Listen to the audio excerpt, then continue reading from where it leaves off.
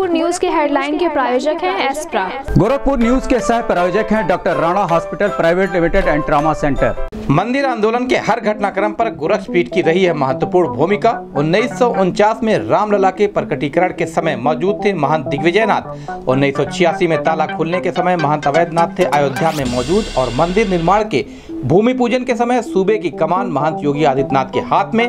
Gorakhpur news के लिए गिरीश पांडे की विशेष स्टोरी। सोमवार को हर्षोल्लास के साथ मनाया गया भाई बहन के प्यार का पर्व रक्षाबंधन, बहनों ने भाइयों की कलाई पर राखी बांधकर की उनके सुख समृद्धि की कामना।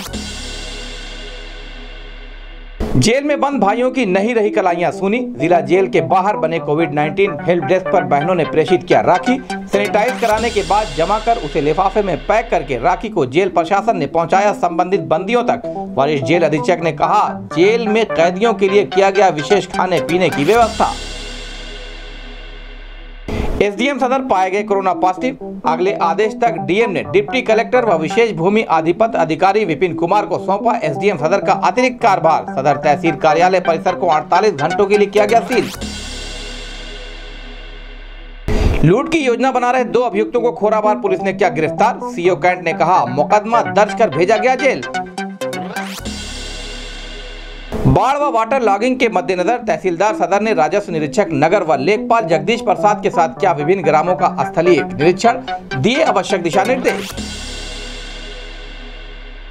गोरखपुर ज़िले में बढ़ता जा रहा कोरोना का कहर। सोमवार को एसडीएम सदर सीआरओ समेत 141 मिले नए संक्रमित मरीज़। पाँच नए संक्रमितों की हुई मौत। ज़िले में 2619 पहुँची संक्रमितों की संख्या।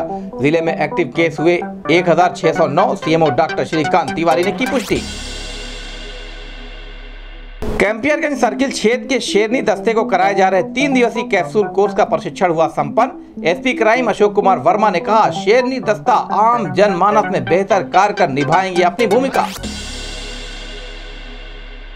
जिला अस्पताल के सिटी स्कैन टेक्नीशियन हुए कोरोना संक्रमित। सिटी स्कैन हुआ ठप। एसआईसी ने कहा, अपर निदेशक स्वास्थ्य को दी गई है सूचना जल्द होगी नई व्यवस्था। रक्षाबंधन पर्व पर सोमवार को बाजारों में दिखी रौनक। एसपी सिटी ने कहा, रक्षाबंधन पर्व को सकुशल संपन्न कराने में जनता का मिला भरपूर सहयोग। शासन के निर्देश पर सोमवार को दुकानों को मिली छूट पर खुली राखियों की दुकान। दुकानदारों ने कहा, बिक्री रही फीकी।